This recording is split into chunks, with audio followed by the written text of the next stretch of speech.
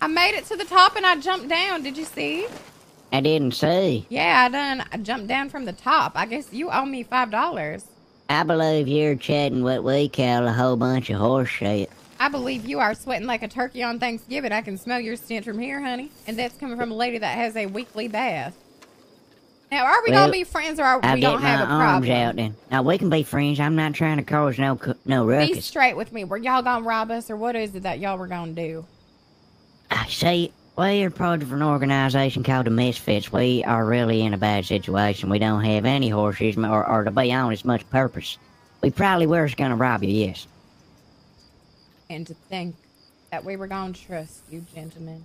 No, but you say we didn't do it. We had a change of heart. And why is that? Was it because I took my bosoms out?